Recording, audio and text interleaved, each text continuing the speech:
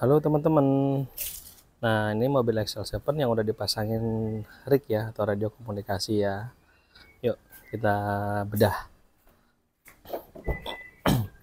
yang pertama, ini kita pakai rignya ICOM 2730 ya.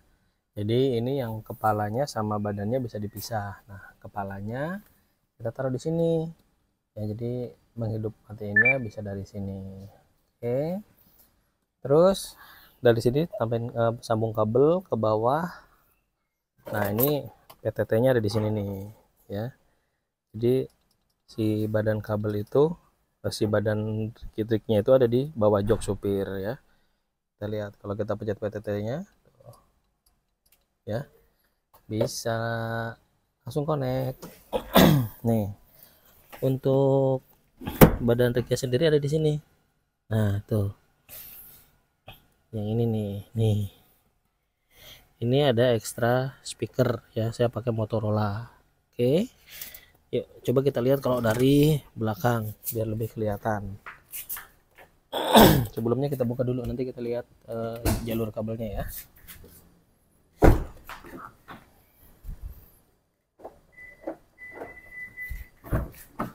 Nah.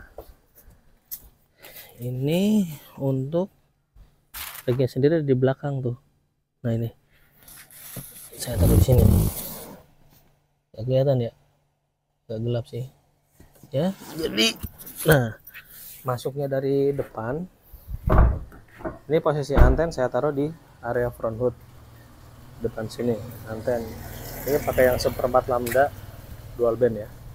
Nggak terlalu panjang. Nah jadi anten masuknya kabelnya ke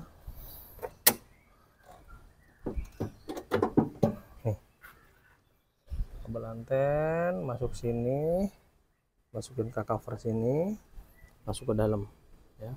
Masuk ke dalam nanti lewat yang sebelah kiri terus dia nyambung ke badan yang di bawah jok tadi ya. Masuknya lewat sini saya seberangin terus masukin lewat pinggiran baru langsung lewat bawah. Sini. Gitu jadi sekarang sudah terpasang ICOM 2730